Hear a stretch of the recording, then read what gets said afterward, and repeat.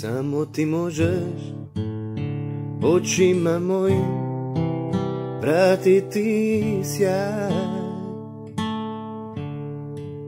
Samo ti možeš odnit mi srce prije vremena u raj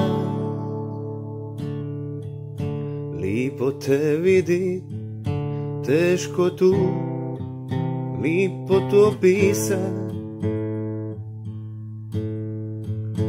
Lako se zaljubi i tvoju lipotu udisa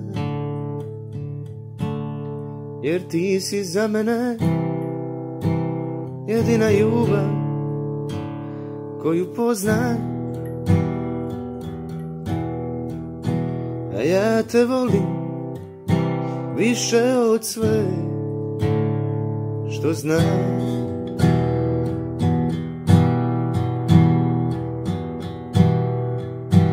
A ja volim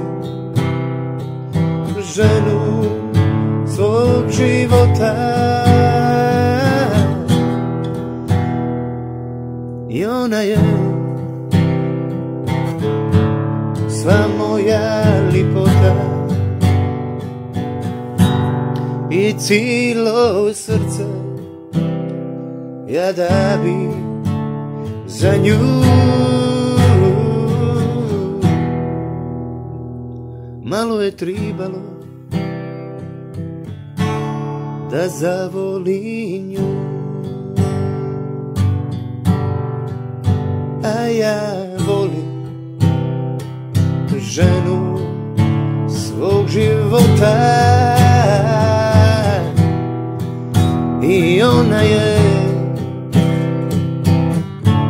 sva moja lipota i cijelo srce.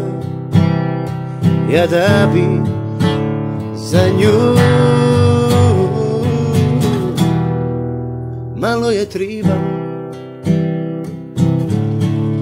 da zavoli